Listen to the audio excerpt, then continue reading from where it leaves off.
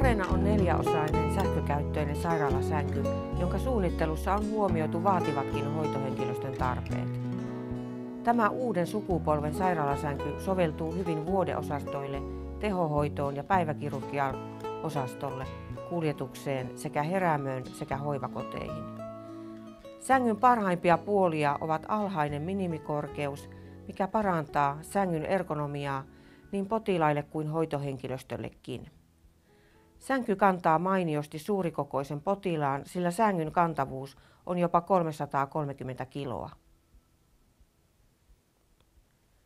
Karena on sähkökäyttöinen sänky, jonka toimintoja säädetään käsiohjaimella.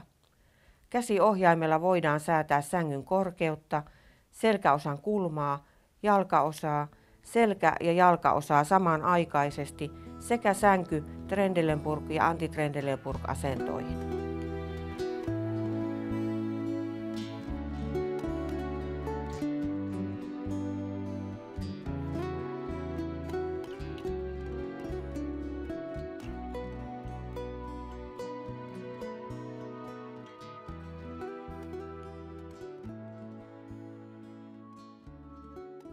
3 neljäsosa kaide on helppokäyttöinen ja useaan käyttökohteeseen soveltuva sivukaide.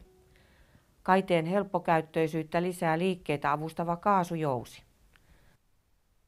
Kaiteen saat nostettua helposti ylös nostamalla se. Varmista, että kaide on lukittunut yläasentoon ennen käyttöä.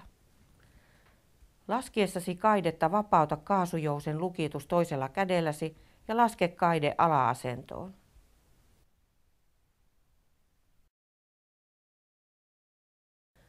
Taittuvaa sängyn päätyä voidaan käyttää myös petaustasona. Päädyn saa taitettua petaustasoksi nostamalla lukitusrenkaat ensin ylös ja taittamalla pääty sitten vaakatasoon. Pystyyn päädyn saa nostamalla se pystyasentoon. Pidä huolta, että pääty lukittuu ennen sen käyttöönottoa.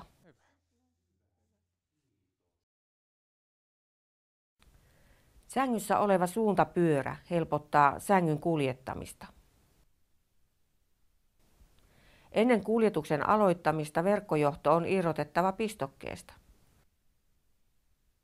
Mikäli kuljetat potilasta sängyllä, nosta sängyn kaiteet aina ylimpään asentoonsa ennen kuljetuksen aloittamista. Jarrut saadaan päälle ja pois päältä jarrupolkimia käyttämällä.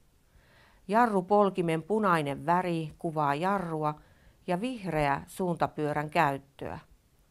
Jarrupolkimen ollessa vaakatasossa kaikki pyörät pyörivät vapaasti akselinsa ympäri, eli pyörät eivät ole lukittuina eikä suuntapyörä ole päällä. Kun käytät suuntapyörää, pidä huolta, että se lukittuu oikeaan asentoonsa ja osoittaa kulkusuuntaa vasten. Muuten sänky on vaikeasti ohjattavissa. Väärin lukittu suuntapyörä aiheuttaa myös mekanismin löystymistä ja sen seurauksena käyttövaikeuksia.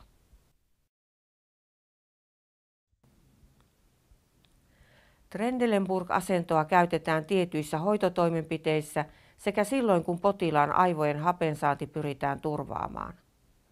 Asento saadaan manuaalisesti kahvasta painamalla ja säätämällä sänky haluttuun asentoon.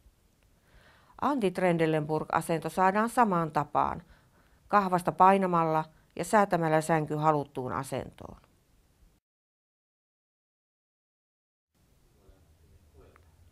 Jalkaosan lukituksen saa vapautettua kahvasta painamalla ja säätämällä jalkaosa haluttuun korkeuteen. Tue jalkaosaa samanaikaisesti toisella kädelläsi.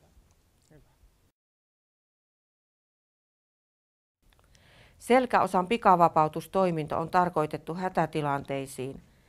Tällöin selkäosa saadaan laskettua makuutasoon manuaalisesti kahvaa painamalla. Tue selkäosaa toisella kädelläsi ja laske se makuutasoon. Nesteenantoteline voidaan asettaa molemmille puolin sänkyä. Telineen asettaminen käy helposti painamalla se niille varattuihin pidikkeisiin. Nesteenantoteline ei ole tarkoitettu työntämistä varten, joten älä työnnä sänkyä siitä.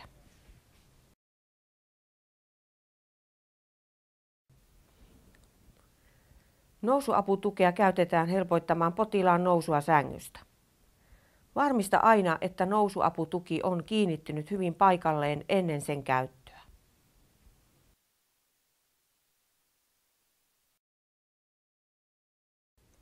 Kohottautumistelinettä käytetään helpottamaan potilaan kohottautumista sängystä esimerkiksi hoitotoimenpiteiden ajaksi.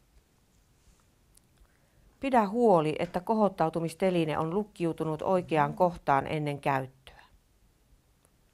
Varmista myös aina ennen käyttöä, että kohottautumistelineen hihna on ehjä.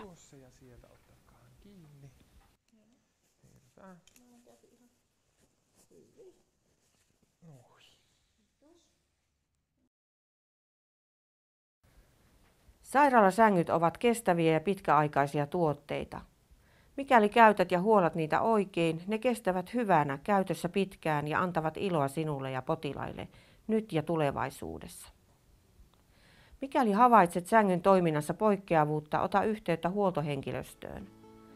Varmista, että sähköjohdoissa ei ole vaurioita, sängyn ja sen lisävarusteiden osat ovat tukevasti paikoillaan, eikä sängyssä näy löystyneitä ruuveja, murtumia tai muita pintavaurioita.